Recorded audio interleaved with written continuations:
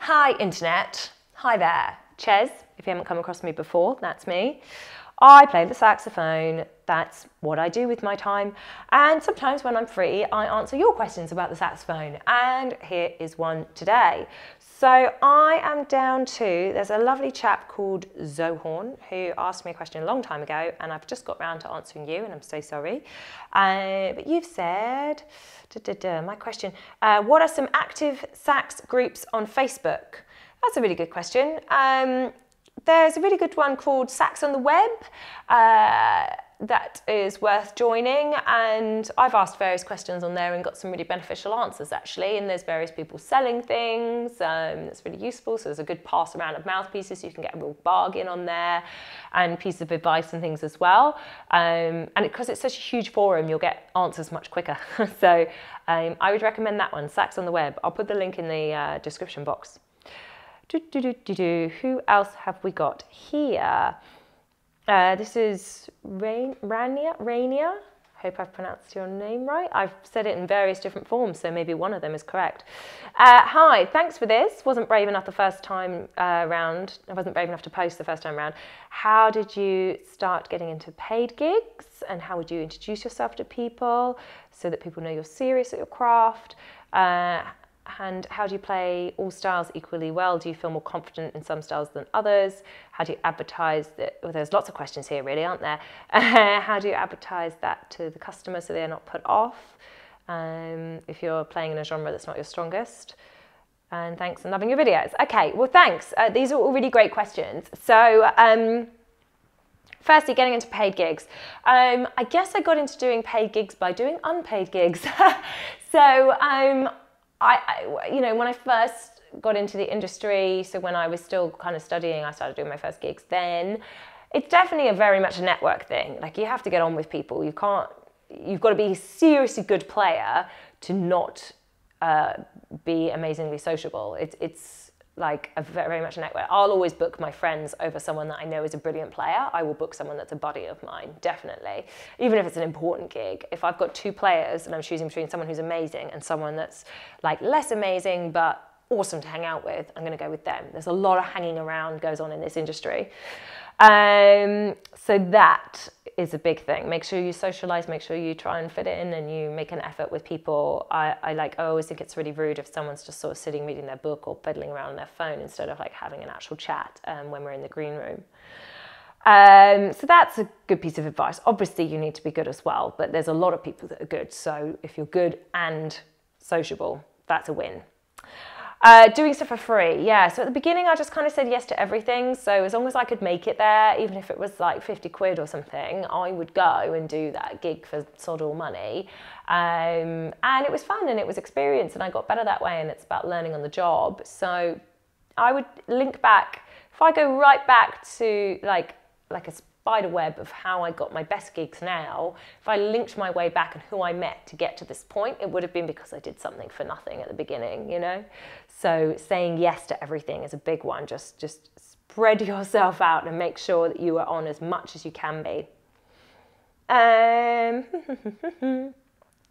do you play all styles equally? No. so I don't think of myself as much of a jazzer, really. Um, I'm much more kind of pop house stuff. So if I do get booked on a serious jazz gig, um, I guess I do kind of two things. One, um, you must have heard of the term fake it till you make it. So go in there confident and make sure you tell yourself you can do this because uh, people can smell fear. And the worst people for smelling fear are other musicians. so uh, if the people you're working with uh, know that you're a bit insecure, then um, they're actually going to, it's quite a judgy industry. It's pretty tough for that. So that's one of the things I'll do. I'll go in as confident as I can be. Um, and then on top of that, uh, see if you can manipulate the situation to suit you a little bit. So I'll suggest songs. I'm like, oh, should we do this one? This one's really good.